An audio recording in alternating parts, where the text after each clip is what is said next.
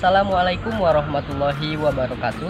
Saya Jamaluddin Ishak Farid, NPM 20310604464, Psikologi Islam kelas C. Pada kesempatan kali ini, saya akan mencoba membahas mengenai materi Islam dan lingkungan hidup, yaitu ekologi dan ekonomi. Dua hal ganda yang dapat dirasakan manfaatnya melalui penghijauan lingkungan di sekitar rumah. Membahas mengenai ekologi dan ekonomi tidak lepas daripada pembangunan di dunia atau bahkan di Indonesia ini sendiri.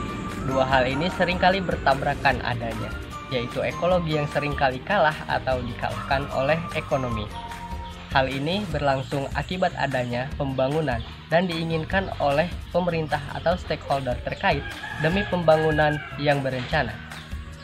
Namun dalam video kali ini saya akan mencoba membahas mengenai keduanya dan tidak membenturkan satu sama lain, melainkan menjadikan keduanya bersinergi satu sama lain, menjadikan manfaat satu sama lain. Bagaimana caranya? Mari kita simak berikut ini. Berikut akan saya paparkan mengenai cara agar ekologi dan ekonomi menjadi dua hal yang dapat menjadi manfaat secara bersamaan, tentunya melalui penghijauan di sekitar rumah. Kegiatan bertani kecil-kecilan di sekitar rumah seperti hanya dengan menanam tanaman cabai, tomat, melinjo, terong, bumbu tambahan seperti seledri, bawang daun, dan lainnya dapat menjadi alternatif dalam menangani masalah ini.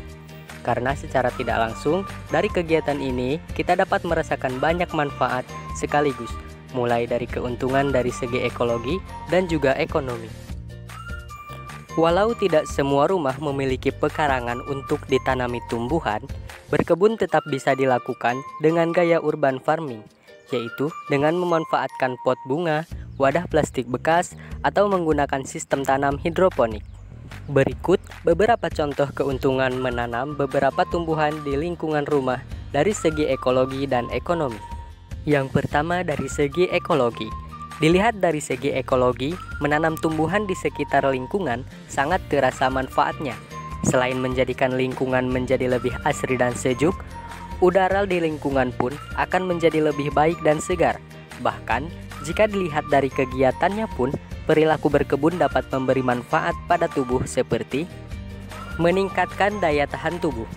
Kegiatan berkebun biasa dilakukan di luar ruangan, sehingga memungkinkan tubuh menerima asupan vitamin D dari pancaran sinar ultraviolet.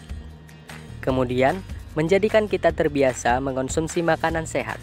Ketika kita memilih untuk menanam sayur atau buah di lingkungan rumah, maka kemungkinan besar kita dan keluarga akan sering mengkonsumsi makanan sehat tersebut. Yang kedua, dari segi ekonomi, Manfaat menghijaukan lingkungan dengan menanam sayur atau buah juga dapat dirasakan secara langsung dari segi ekonomi. Tanaman yang tumbuh dapat kita manfaatkan secara langsung hasilnya. Sayur yang ditanam tentu saja dapat mencukupi kebutuhan konsumsi sehari-hari. Hal ini tentu menjadikan kita lebih hemat dalam mencukupi kebutuhan pangan.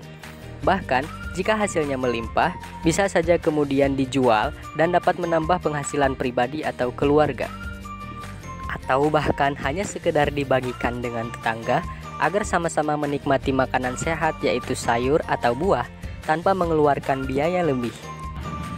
Dari pembahasan tersebut dapat kita kaitkan dengan ayat Allah dalam surat As-Sad ayat 27. A'udzubillahi minasyaitonirrajim. Bismillahirrahmanirrahim. Wa ma khalaqnas sama awal arda wa ma bainahuma batila.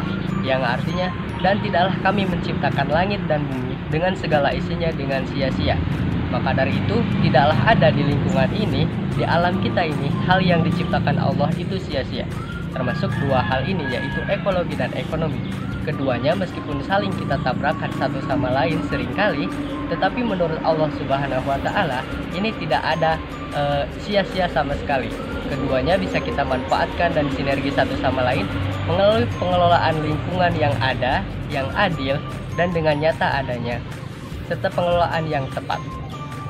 Maka dari itu, marilah kita lestarikan alam ini dari lingkungan kita sendiri, dimulai dari diri sendiri dan kemauan sendiri. Terima kasih, saya Jamuddin Ishak Farid. Assalamualaikum warahmatullahi wabarakatuh.